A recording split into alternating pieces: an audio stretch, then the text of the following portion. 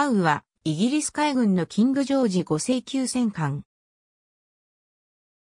艦名は、リチャード・ハウ提督にちなむ。ハウは1937年6月1日に、フェアフィールドシップビルディングエンジニアリング社で寄港し、1940年4月9日に浸水、1942年8月29日に収益した。当初はデビッド・ビーティ提督にちなんでビーティと命名される予定であったが、1940年2月にハウと改名された。1942年8月に海上公試が開始されたが、本国艦隊での作戦投入可能となったのは11月以降であった。ハウの主要任務は、北極海での船団護衛や大西洋へ進出しようとするドイツ艦艇の迎撃であった。バレンツ海海戦のあった12月31日、RA51 戦団の護衛に加え可能であれば、ドイツ従巡洋艦リュッツォウ補足のため出撃した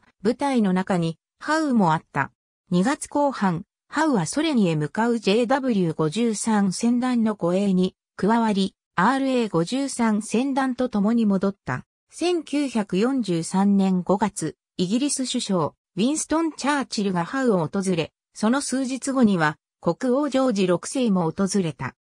5月になると、ハウは連合国軍の上陸支援のため地中海へ展開することになった。エリコン FF20mm 機関砲をいくつか搭載した後、5月21日にハウはジブラルタルへ向け、ロサイスから出港した。5日後、ジブラルタルに到着。ハウは H 部隊に配属され、シチリア島やイタリアへの上陸を支援することになった。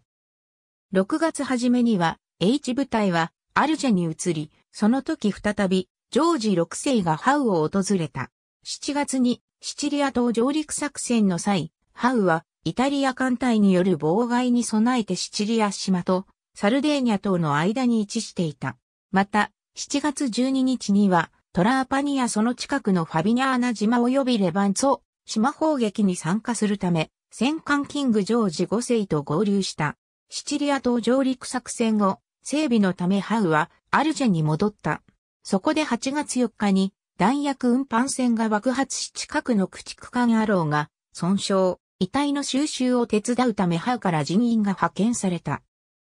イタリア降伏後の9月8日、ハウとキングジョージ5世は9月9日にイギリス第一空挺師団によるタラント上陸を行う海軍部隊を護衛し、その途中で降伏のためマルタへ向かうイタリア艦隊に遭遇した。9月14日、9月14日、ハウとキングジョージ5世は降伏したイタリア艦艇をマルタからアレクサンドリアまで護送した。10月1日にハウはアルジェに着き、そして本国艦隊に戻るためスカパフローへ向かった。1943年10月から1944年6月まで修理が行われ、その後はイギリス太平洋艦隊に配属される。第二次世界大戦が終了すると訓練艦として使用された。1958年に姉妹艦3隻と共に解体された。